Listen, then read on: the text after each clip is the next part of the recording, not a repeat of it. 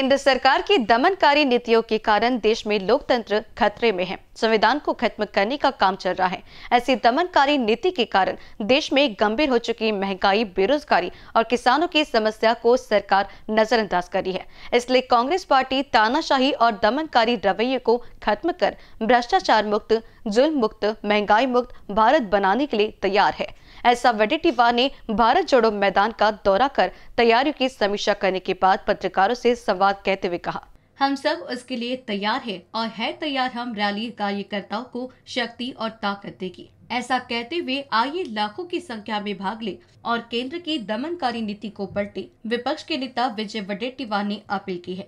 वडेट्टीवार ने कहा कि लोकतंत्र बचाने के लिए सोनिया गांधी की संविधान बचाओ बैठक नागपुर में हुई। इसलिए देश बदल गया। आज एक बार फिर 28 दिसंबर को नागपुर की ऐतिहासिक धरती पर रैली के साथ कांग्रेस पार्टी का स्थापना दिवस मनाया जा रहा है। यह नागपुर और महाराष्ट्र के लिए गौरव की बात है कि कांग्रेस की एक सौ वर्षगांठ नागपुर में मनाई जा रही है। विधव ने हमेशा कांग्रेस का समर्थन किया है। इसलिए है तैयार हम महारैली, कार्यकर्ताओं को शक्ति और ताकत देगी।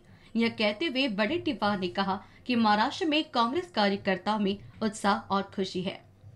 और हम ये नहीं कहेंगे कि कितने लोग लोग तो इतने आएँगे, हर रास्ता आपको लोगों से ही दिखेगा। यहाँ पे सभा में, मंच में सभा के स्थल पर भी आपको जो तैयारी दिख रही, ये भव्य स्वरूप की तैयारी है। कांग्रेस का स्थापना दिन विदर्भ को मिला है मनाने का। ये हमारे लिए बहुत खुशी की और अभी गर्व की बात है।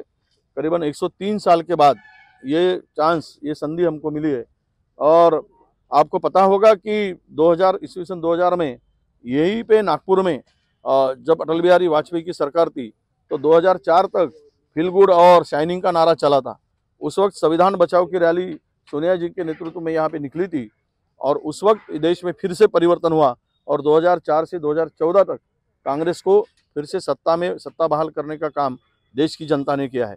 आज भी हम संविधान बचाने के लिए इस देश की डेमोक्रेसी बचाने के लिए ये दिन नागपुर में मना रहे और इसका संदेश पूरे देश में जाएगा और फिर से परिवर्तन होगा, यही तैयारी हम लोग कर रहे कांग्रेस के राष्ट्रीय अध्यक्ष मल्लिकार्जुन खड़गे, सोनिया गांधी, राहुल गांधी, प्रियंका गांधी, कांग्रेस के मुख्यमंत्री प्रदेश अध्यक्ष विरोधी पक्ष नेता, कांग्रेस कार्य समिति के सदस्य, इस रैली में उनके साथ हज़ारों पदाधिकारी और लाखों कांग्रेस कार्यकर्ता शामिल होंगे।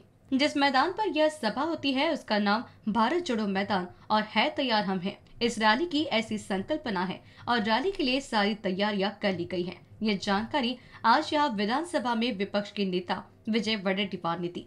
कैमरा पर्सन राजकुमार मोहर के साथ क्षितिजा देशमुख की रिपोर्ट।